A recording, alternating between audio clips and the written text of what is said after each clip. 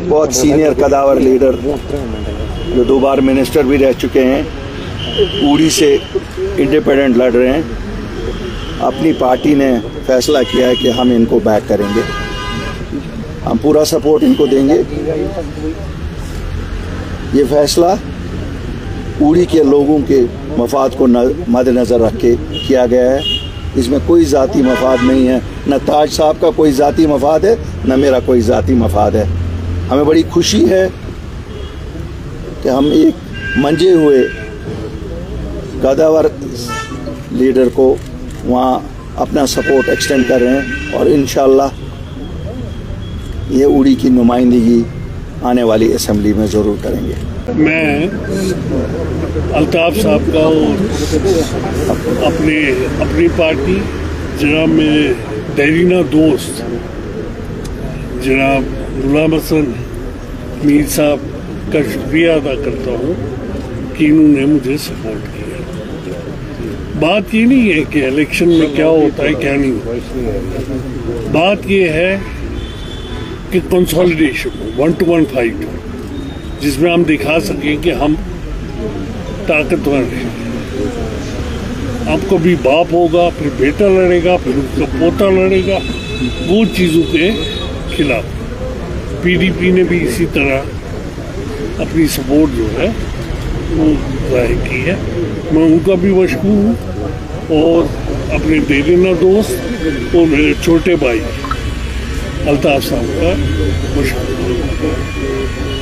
देखिए मैं, मैं मैं आपको बताऊँगा कहते हैं आगे आगे की तरफ़ देखना चाहिए पीछे की तरफ़ नहीं देख रहे।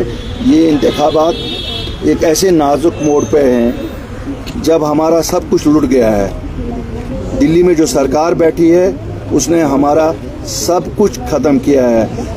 हती कि जो आने वाली सरकार है, उनकी हर एक कोशिश है कि उस, उसको कोई इख्तियार ना हो।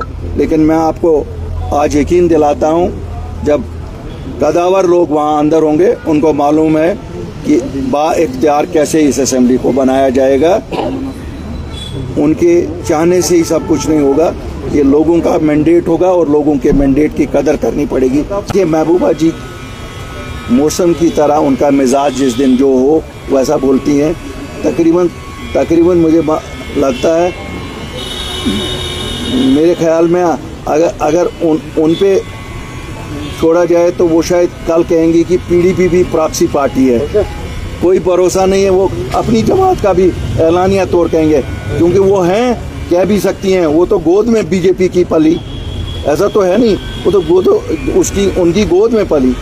और जो चीफ मिनिस्टरशिप का पेंशन ले रही हैं, उसमें हिस्सा 50 परसेंट तो बीजेपी का ही था।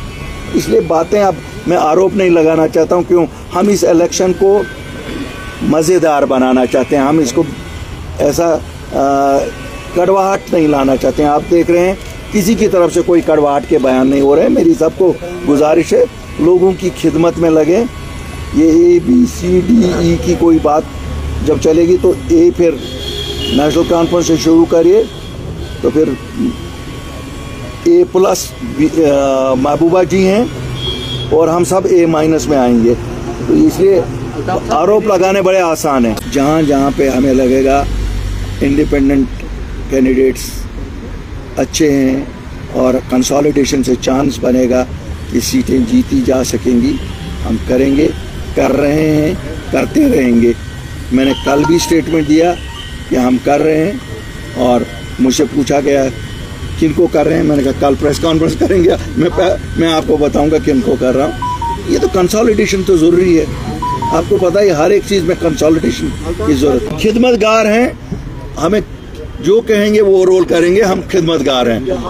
हम किंग किंग हमारे पास तार के लिए निकले हैं। आज कोई किंगडम नहीं ढूंढ रहा। आज सब ढूंढ रहे हैं कि लोगों को अवामी हुकूमत मिले। हर एक जगह कंसोलिडेट जो भी अपनी पार्टी की मूव है कंसोलिडेशन के लिए है।